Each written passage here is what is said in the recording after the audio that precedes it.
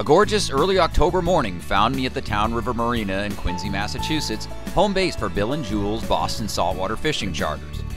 The company is run by the husband and wife team of Bill Bryant and Jules Silva, who fish the Boston Harbor area in a 27 foot Polar center console. A more enthusiastic charter crew you're not likely to find. Okay. I don't know how long the day's going to last. Oh, we'll see. Okay. You know, play by ear. Yeah. We're gonna go get some pogies and go beat up some fish. I, I'm gonna assume Our quarry this day was striped bass, and we were fortunate to have big schools of pogies right inside the river. Got 'em? Yep. See that big disturbance up ahead?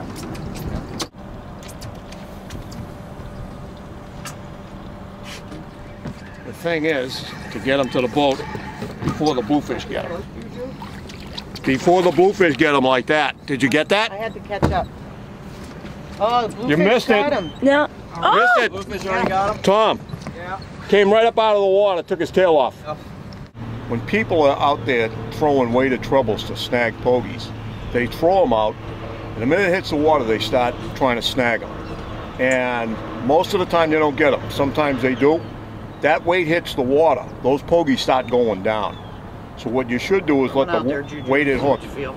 drop a little bit first, and then pull the rod like this, nice and easy, till you feel actually the weight bouncing right off those pogies. Then snag.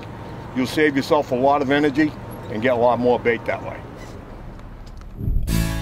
With a dozen or so liveys in the live well, we are ready to head for the first stop of the day, Point Allerton, off nearby Hull.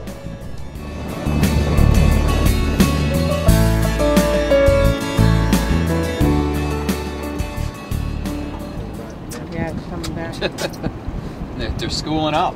Chinese fire drill.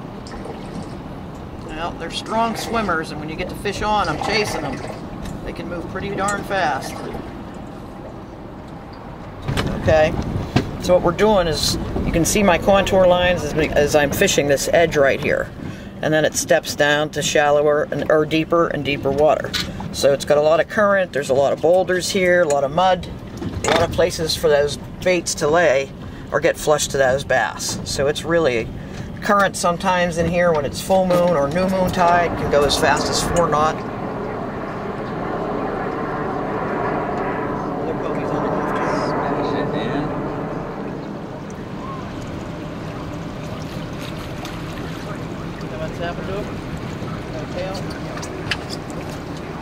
That was what that zit zit zit was. Well, uh, This guy's one guess at one guess at what happened to this poor guy. It's amazing how they can uh, bluefish can just chomp right behind the hook. Miss that hook. Such great ice. Little appetizer. Is scared. Oh yeah. Get him. Oh yeah. Got him, Juju? Yep. Good job. I'm gonna try not to reel this.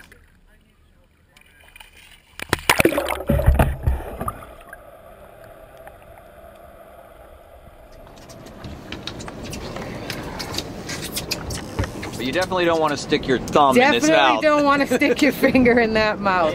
He's pretty. Yes, Chucky, that one. And these eyes, man, they see you. And when you have them on the deck, These are Loomis rods, uh, Shimano reels. These are 4,500 bait runners.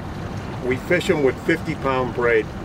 And I'll either use a steel leader when there's bluefish around, or I'll use 60 pound test mono or fluorocarbon.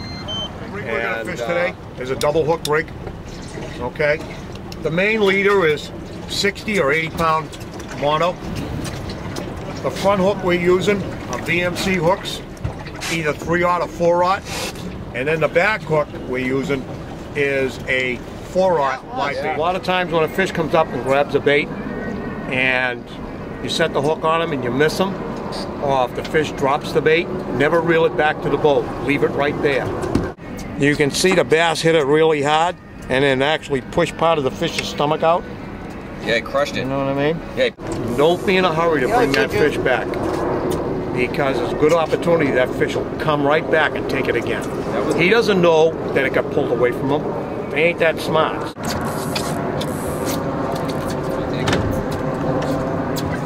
He's got it.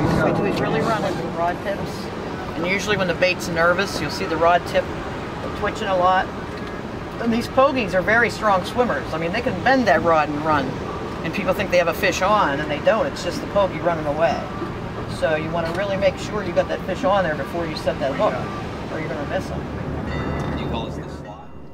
After striking out on bass off Point Allerton, we opted for a change of scenery and moved inside the harbor islands. Within minutes, we hit pay dirt. Don't pull back hard. Just let her do her thing. That's a bass. Oh yeah. Just take your time. Hooked up. Took a little while, but we finally found the fish. Had to move. But we came to this spot, man. This pogie got slammed right away. The other one's getting Try slammed. not to force her. The fish was on it too. Okay.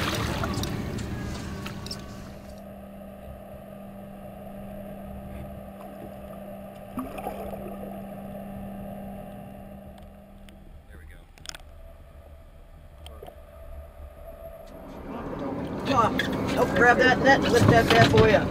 Ah. Yeah, baby. A beautiful Boston Harbor striper caught on Bill and Jules, Boston saltwater fishing. nice fish. Very nice fish. 28 pounds. 28 pound Boston Harbor striper. He was looking at you, baby. Yeah.